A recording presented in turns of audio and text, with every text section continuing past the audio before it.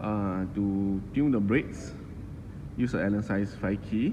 Okay, I would recommend get the tension right first. Okay, means that uh, you tighten the brakes. Let's say example, a, a feeling that you like. When you compress the brake, uh, it's tight for your feeling. Okay, like us, this is this is good enough for me. Okay, if you want more tighten, just uh, pull all the way back here. Okay. Okay, now you see there's a sound on the brakes. Okay, loosen these two two nuts. Just loosen a, around. Okay, simple around so that you can you can adjust. Okay, uh, compress the brake. Okay, tighten uh, neither above or below. Is up to you. Okay, normally they will do below.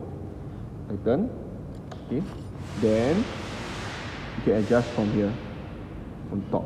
You can move this part left, right, left, right until you hear there's no sound. Okay, you can see. I just pushing a little bit. There's no no sound. eh. Okay, there's no rubbing of the disc. Okay, then you can tighten this. Okay, this is the perfect. Okay, there's another way around is uh, same thing. Loosen this. When you press the brake, then you tighten the above. Okay, neither way, okay? Then you see the sound. Here, same thing, below. Okay, below. Left, right, or just not a bit. Okay? Okay, you can see there there's no no rubbing of the sound.